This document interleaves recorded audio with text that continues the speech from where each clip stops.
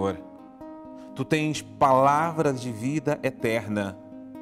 Nós cremos firmemente e reconhecemos que tu és o Santo de Deus. Sabe?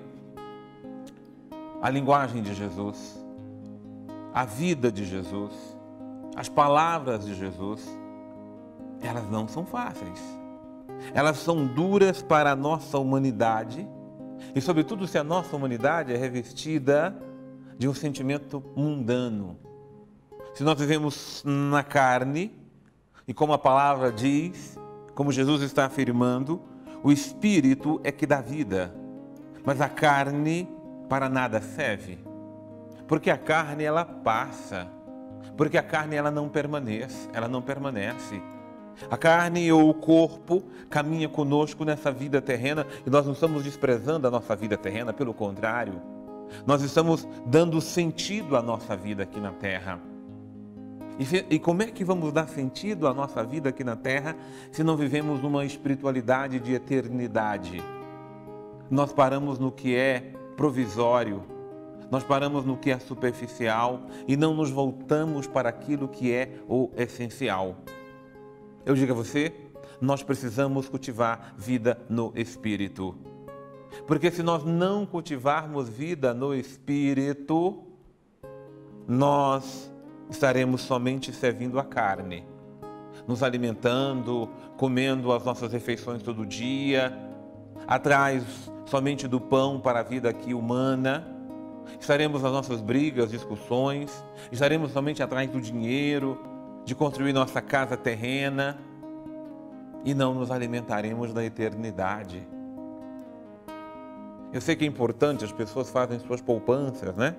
Economizam para situações mais futuras, mas até as economias que nós fazemos, elas passam, por mais necessárias que elas sejam, para cuidarmos, articularmos, planejarmos nossa vida presente. Nós precisamos investir, e eu preciso dizer que nós só investir na vida futura eterna. Nós precisamos investir na nossa vida aqui e agora, cuidando do nosso espírito. E cuidar do espírito não é ser uma pessoa espiritualoide. Não, como se estivéssemos apenas o tempo inteiro rezando e olhando para o céu. Cuidar do espírito é cuidar para que a nossa vida presente seja dirigida por Deus para que a nossa vida presente esteja em Deus, para que eternamente nós estejamos em Deus. Porque a eternidade, ela começa aqui e agora, quando eu começo a viver a minha vida em Deus.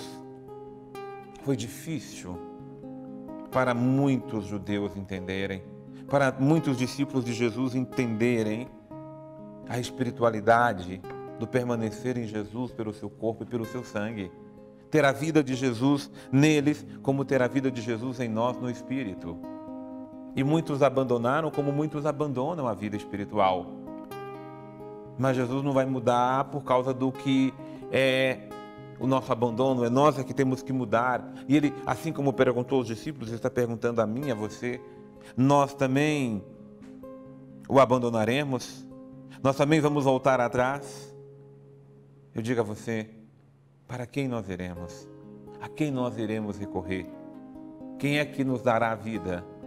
Porque só Ele, só Jesus tem palavras de vida eterna. Só Jesus tem palavras para a nossa vida. Só Jesus tem palavras que dão sentido ao nosso viver e à nossa existência. A quem nós iremos? Longe do Senhor. Deus abençoe você.